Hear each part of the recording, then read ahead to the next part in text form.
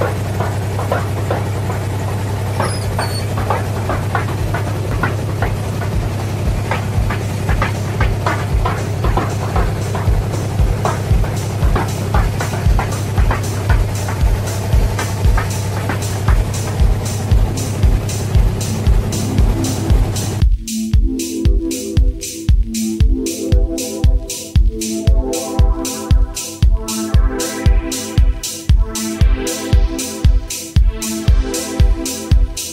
Now about to witness the strength of street